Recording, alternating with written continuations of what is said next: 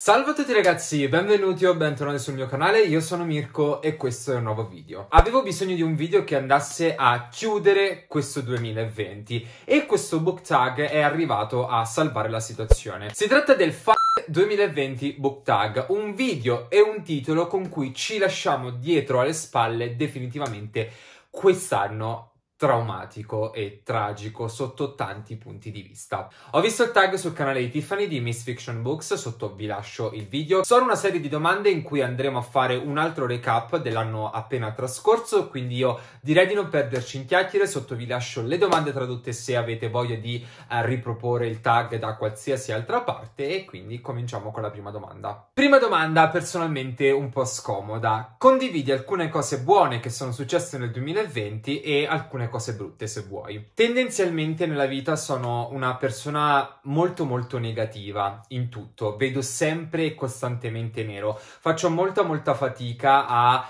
eh, tirare fuori della positività da quello che mi succede, da ciò che vedo, ciò che ascolto, insomma, da un po' da, dalle situazioni in generale, perché proprio sono una persona estremamente eh, negativa e molte volte anche quando non c'è bisogno di essere negativi, io lo sono a prescindere perché la mia indole sono fatto così ed è difficile che vedo il bianco nelle cose. Per me è sempre tutto molto molto molto nero e quando anche è bianco tendo proprio a portarlo sul nero, al massimo grigio, e si dice sempre di trovare il lato positivo delle cose, che è molto difficile spesso, e soprattutto in una situazione come quella che abbiamo vissuto nel 2020, che ha toccato tutti noi, e io faccio una certa difficoltà a trovare del positivo nel 2020. Faccio una certa difficoltà perché per forza di cose non è stato uh, un anno facile per tutti, me compreso. È un anno, il 2020, che ha messo tanti paletti, per forza di cose, perché non poteva essere altrimenti, e ci ha impedito di conseguenza di fare tanto. Quindi il 2020 per me è stato un anno molto molto monotono, sotto tanti punti di vista, e trovare del positivo, ripeto, per me è difficile. Sicuramente una cosa uh, che mi riempie il cuore di gioia è YouTube che continua appunto a crescere, quindi sono molto felice di questo. Di volta in volta vedo crescere e aumentare sempre di più questa piccola community che comunque uh, mi sono creato e ovviamente anche con orgoglio comunque posso dire che mi rende davvero molto molto felice. Le cose positive in questo 2020 anche dal punto di vista personale sono davvero molto poche e per quanto mi sforzi non riesco a trovare più di tanto. Sicuramente un'altra cosa di cui sono grato è l'avere attorno amicizie come quelle che mi sono creato su YouTube che ehm, quotidianamente comunque mi sono a fianco e mi rendono felice. Sono ormai diventate presenze costanti nella mia vita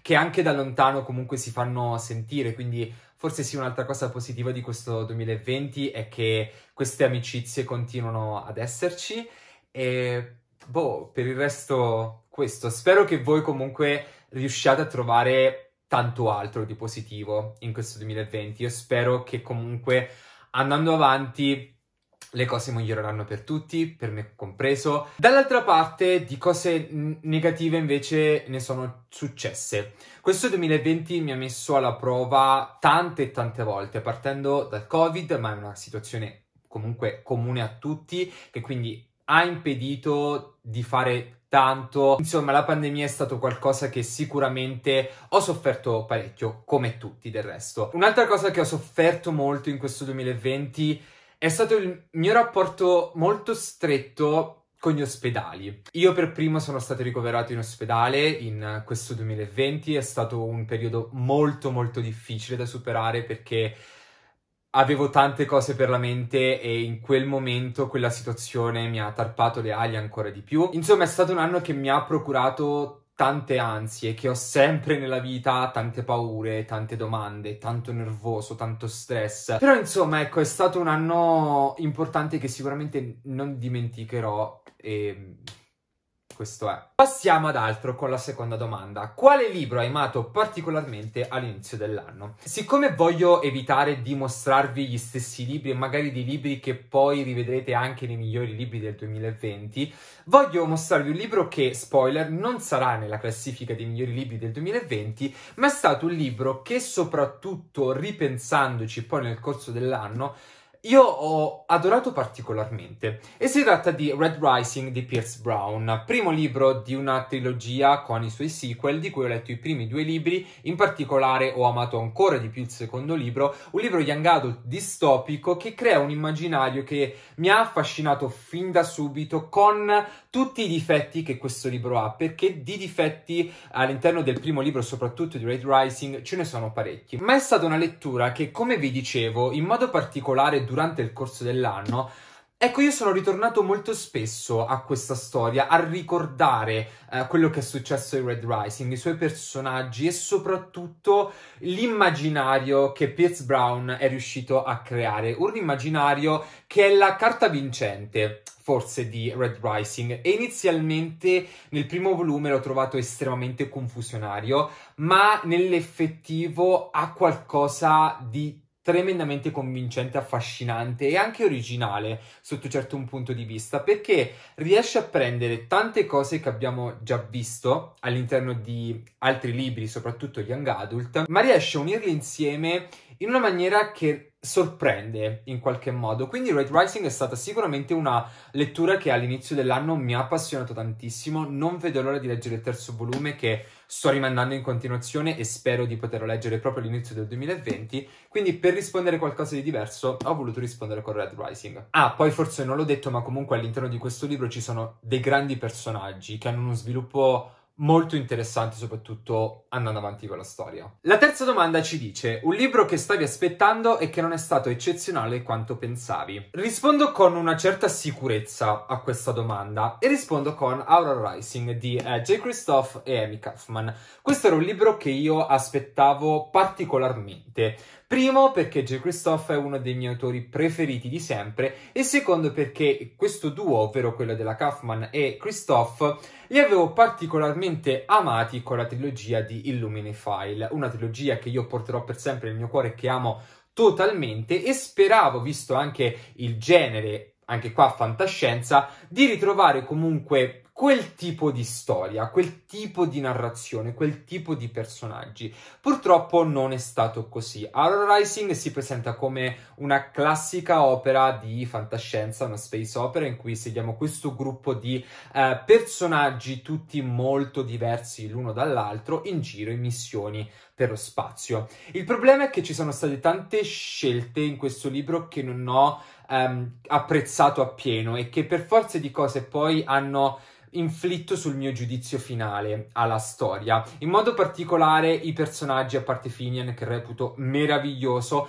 gli altri li ho trovati particolarmente stereotipati, anche le relazioni che intrecciano tra di loro non mi hanno convinto al 100% e la storia mi è sembrata piuttosto debole in alcuni punti. È una lettura carina, godibile, sicuramente di puro intrattenimento, però mi è mancato qualcosa nel leggere Aurora Rising, forse anche quella simil complessità che invece era Illumine. Qui mi è sembrato tutto molto uh, telefonato, già sentito, non ci ho visto niente di nuovo e poi ci sono state delle scene abbastanza cringe che no.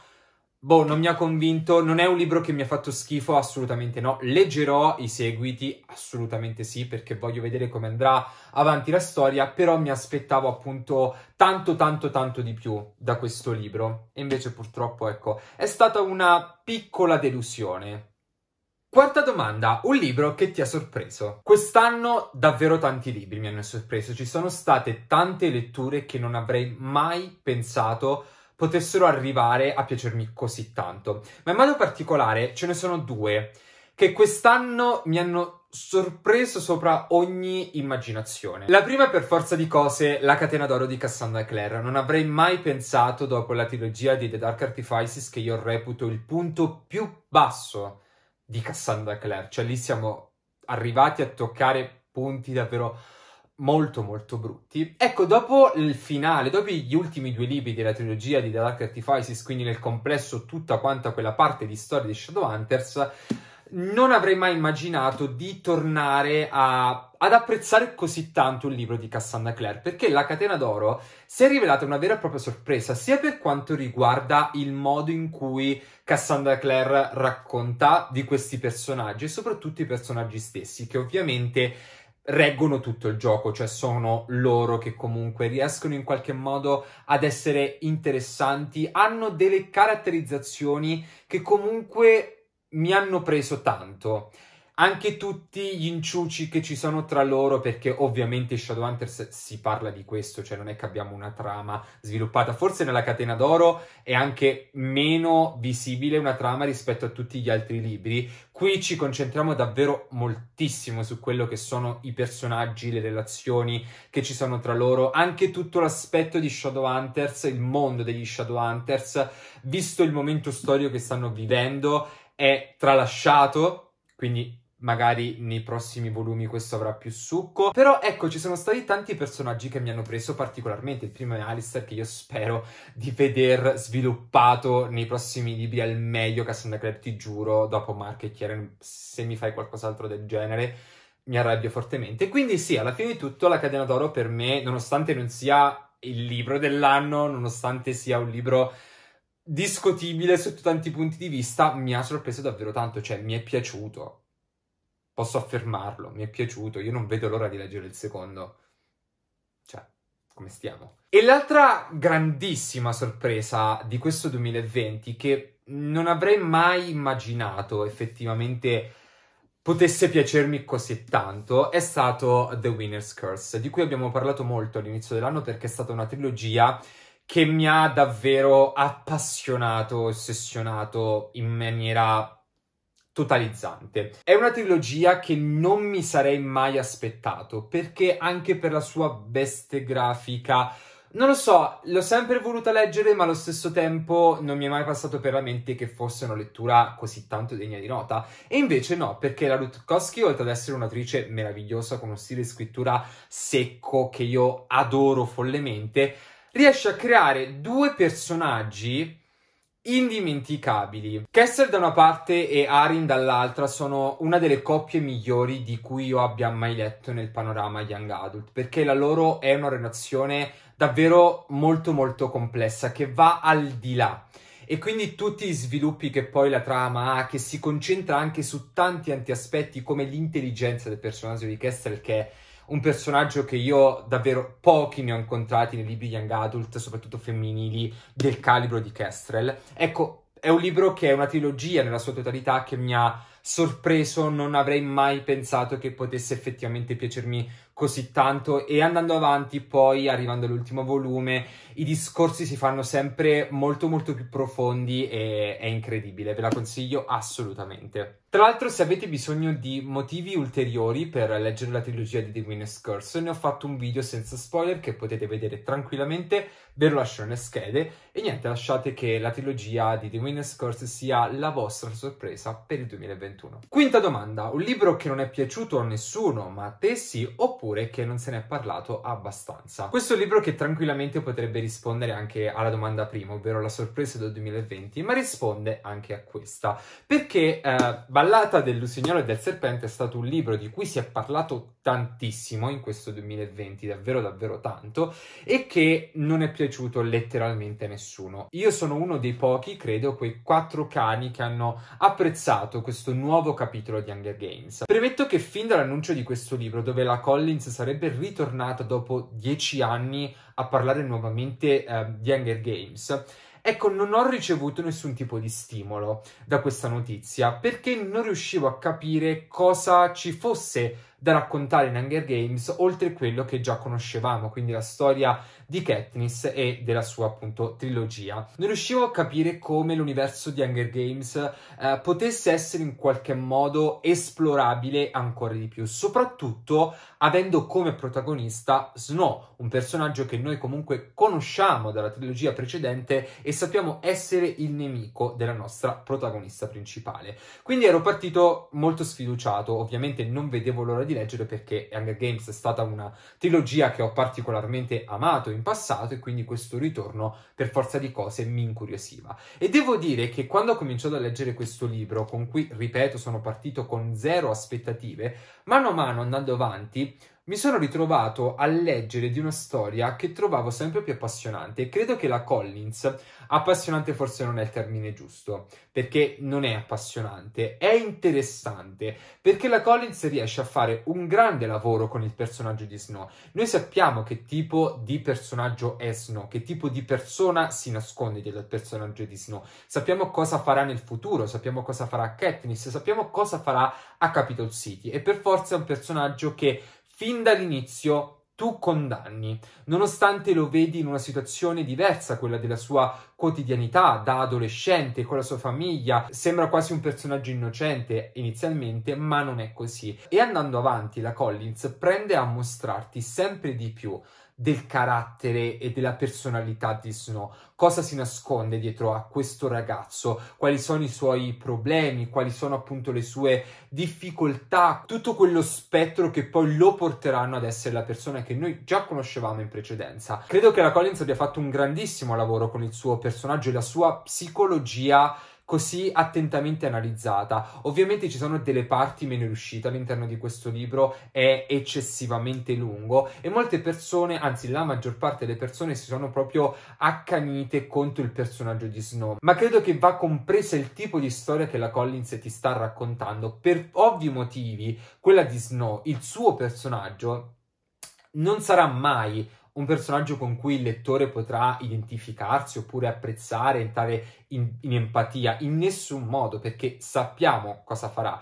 Ma appunto è interessante proprio vedere quell'altro punto di vista. E credo che la Collins sia stata molto molto brava in questo, nonostante tutto, nonostante tanti difetti di questo libro, nonostante, ripeto, le parti meno riuscite, è un libro che a me è piaciuto veramente moltissimo. Sesta domanda, un libro che vorresti vedere già pubblicato quest'anno, nel 2020, anche se ormai è andato. Ci sono tantissimi titoli che avrei voluto vedere pubblicati durante il corso del 2020. Se mi guardi in giro me ne vengono in mente tantissimi. Per esempio il quinto libro della Folgoluce, ma se ne parla per il 2023, quindi atteniamoci a qualcosa di più concreto, ovvero The Midnight Lie di Mary Rutkowski. Sì, un altro libro della Rutkowski, anche questo comunque collegato a The Winner's Curse. Ho letto tutto quello che era disponibile della Rutkowski, che purtroppo ad oggi è molto molto poco, e questo è eh, un libro, primo libro di una duologia, che si conclude con uno di quei finali davvero cattivi, cioè proprio quei finali infami in cui con una sola riga, con qualche parola, ecco l'autrice riesce a cambiare tutto il senso del libro e tutto quello che potrebbero rappresentare i personaggi poi nel futuro. Se avessi avuto il secondo libro appena finito questo mi sarei immediatamente fiondato a leggerlo, ma sfido chiunque a concludere The Midnight Lie e non avere la necessità fisica di leggere il secondo, perché davvero il finale, l'ultima frase del libro mette tutto in una prospettiva diversa e molto molto interessante. Non vedo l'ora di leggere il secondo libro, avrei voluto vederlo pubblicato nell'immediato, purtroppo non è stato così, dobbiamo aspettare ancora tanto tempo perché se non sbaglio uscirà a settembre 2020, ma non vedo l'ora di, di sapere come andrà avanti tutto questo e spero che la Rutkowski riesca in quello che qui ha solo anticipato perché sembra essere davvero incredibile. Settima domanda, un libro che attendevi con impazienza per il 2020 ma che è stato appunto rimandato al 2021. Anche qui la domanda è davvero proprio botta risposta perché ovviamente Empire of the Vampire di J. Christophe che era stato annunciato per il 2020 ma all'inizio forse del 2020 è stato annunciato uh, che sarebbe stato invece pubblicato un anno dopo, inizialmente era previsto ad autunno 2020 e verrà pubblicato ad autunno 2021. Questo è uno dei libri che aspetto di più in assoluto da quando è stato pubblicato perché insomma J. Christophe che mi parla di vampiri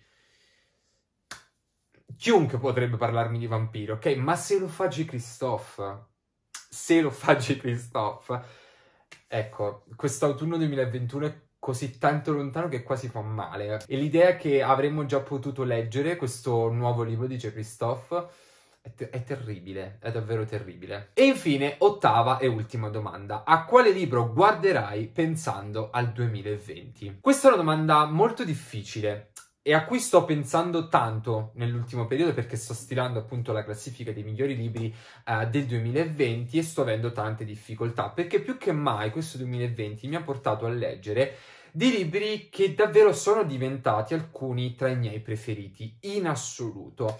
Ma se c'è un libro, due facciamo, che nel 2020 mi sono particolarmente rimasti impressi e che non necessariamente forse saranno i miei preferiti, sono da una parte sicuramente Dune, perché Dune, l'aver scoperto Dune quest'anno è stato per me davvero una scoperta, cioè io sono entrato in un mondo uh, con Dune che mi ha accompagnato uh, durante il primo periodo della quarantena, quindi anche per questo forse mi rimarrà uh, particolarmente impresso. E mi sono letto i primi tre libri di Dune tutti di una volta quasi, quindi per forza di cose sono proprio entrato nell'ottica di Herbert, nell'ottica dei personaggi di Dune, nell'ottica della storia e questo libro a cui ovviamente penserò tantissimo se mai dovessi ripensare al 2020 prossimamente, ma l'altro libro, per motivi diversi, è sicuramente Il mare senza stelle di Erin Morgenstern, perché questo è un libro che forse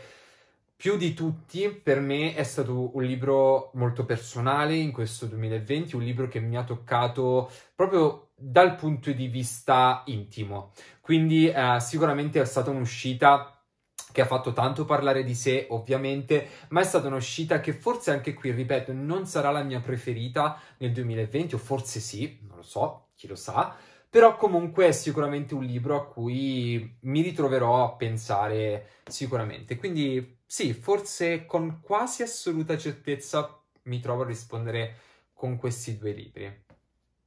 Bene ragazzi, siamo arrivati alla fine di questo tag. Io, come vi ho detto, vi lascio sotto le domande, vi aspetto nei commenti, facciamo un recap insieme di questo 2020, quindi anche del vostro 2020. Fatemi sapere un po' del vostro anno, delle vostre letture, delle vostre sensazioni, di quello che vi ha lasciato e di quello che ricorderete del 2020. Vi aspetto nei commenti, io spero che il video vi sia piaciuto e noi ci vediamo a un prossimo video. Ciao a tutti ragazzi!